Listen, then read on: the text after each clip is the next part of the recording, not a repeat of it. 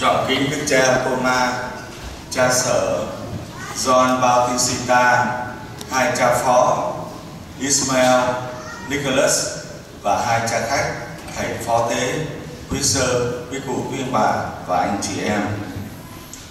Trước hết, lời Chúa ngày hôm nay chúng ta vừa mới nghe Pascal là một nhà bác học nổi tiếng cũng là một nhà triết học lối lạc có một câu thời danh như sau. Con người chỉ vĩ đại khi họ cầu nguyện. Thật vậy, con người là một thụ tạo mà thiên chúa đã tạo thành và vượt trên các loài thọ tạo tuy nhiên, chúng ta có thể chỉ nên vĩ đại khi chúng ta có một mối quan hệ mật thiết với thiên chúa là cha chúng ta. Bởi vì qua việc cầu nguyện là bắt cầu giữa thiên chúa và loài người, và cho tất cả chúng ta biết được rằng cầu nguyện giúp con người chúng ta khước từ những điều không tốt và chúng ta cố gắng để làm điều tốt hơn. Hôm nay tin mừng, chúng ta vừa mới nghe Chúa Giêsu từ sáng sớm đã nói các môn đệ các con hãy vào nơi thanh vắng và các con nghỉ ngơi một chút. Điều chúng ta thấy một việc quan trọng, vô cùng cao quý là loan báo tin mừng của Đức Kitô ngài cũng cần thời gian nghỉ ngơi cho nên anh chị em thấy các cha cũng vậy. Ngày nghỉ là ngày holiday. Nhiều khi chúng ta gọi cha cha Việt Nam chúng ta thì gọi thì đi ngay. Còn đôi khi cha Mỹ nói là, this is my day off, get out. Ngày hôm nay tất cả chúng ta vừa nghe Chúa Giêsu nói. Chính anh em phải là người dùng thời gian để cầu nguyện.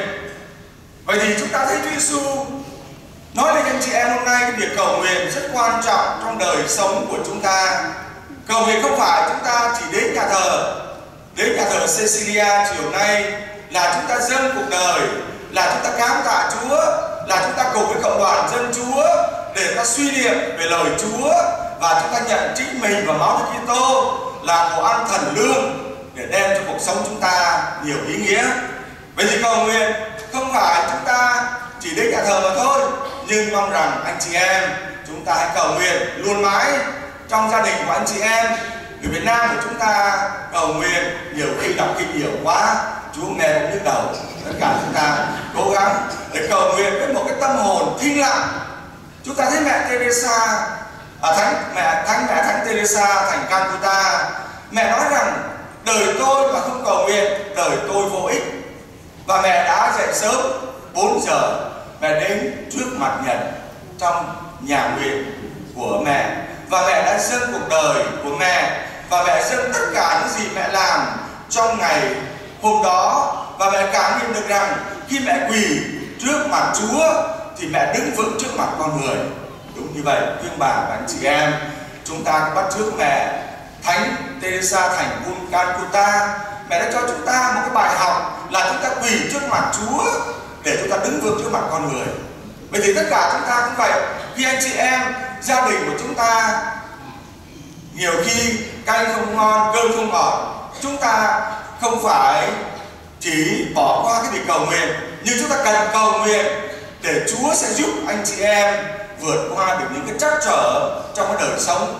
Rồi có những gia đình ngày nay, có những đứa con bệnh tật, có những đứa con bỏ nhà ra đi, chúng ta hãy cầu cho con mình đừng có để nó đi luôn. Hay là nhiều khi chúng ta thấy con mình nó rất là học hành, chúng ta cố gắng để chúng ta cố gắng im lặng. Và chúng ta dâng lên Chúa. Ngày nay có nhiều người Việt Nam của chúng ta không còn muốn những đứa con đó ở nhà nữa.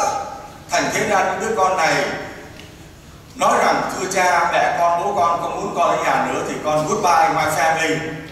Chúng ta thấy điều đó không đúng. Chúng ta hãy cầu cho con mình. Và có nhiều những cha mẹ cầu cho con và con đã cảm nghiệm được rằng khi cha mẹ cầu cho con thì con tốt hơn. Về mỗi người chúng ta hãy bắt chước các vị tông đồ hôm nay để chúng ta biết rằng cầu nguyện là một nền tảng cho mọi hoạt động. Chẳng hạn như anh chị em thấy rằng ngày nay trong đời sống con cái chúng ta có nhiều những cái băn khoăn, rồi học hành không ra làm sao rồi con cái chúng ta bỏ nhà, rồi chúng ta có nhiều những cái điều xấu, nhưng chúng ta đừng bao giờ vô cảm nhưng sẵn sàng để đón nhận. Và qua việc cầu nguyện đó, anh chị em cảm nghiệm được sự bình an. Tất cả chúng ta thấy từ Adam, Eva cho tới ngày nay, nhân loại chúng ta vẫn cầu nguyện. Nhưng tại sao ngày nay thế giới vẫn còn đau khổ, con người vẫn còn quại trong một bạo lực? Trong một cái sự giết chết lẫn nhau.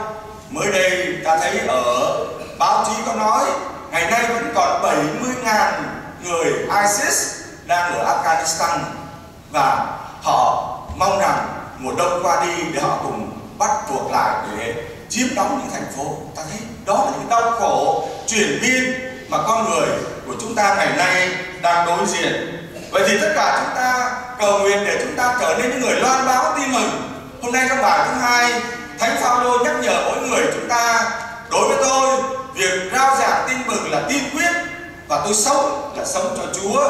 Và tôi sống không phải sống cho Chúa mà Chúa sống trong tôi nữa. Bởi vì anh chị em cầu nguyện, chúng ta dâng mình cho Chúa, cầu cho gia đình anh chị em, cầu cho giáo xứ Saint Cecilia đây, để mỗi người chúng ta cầu nguyện trong cái năm mới này. Cái năm mới này, anh chị em thấy nó có nhiều những cái sẽ xảy ra trong cuộc đời của chúng ta. Chúng ta khi cầu nguyện thì mình bỏ cái ích kỷ của mình mình bỏ cái kiêu ngạo của mình mình bỏ cái hư ảo của mình để mặc lấy cái tinh thần khiêm tốn, hiền lành và khiêm nhường như Chúa. Vậy con người chúng ta được trở nên vĩ đại khi anh chị em cầu nguyện. Vậy mỗi người chúng ta hôm nay hãy vào, bắt tay vào việc cầu nguyện và chúng ta mừng Tết.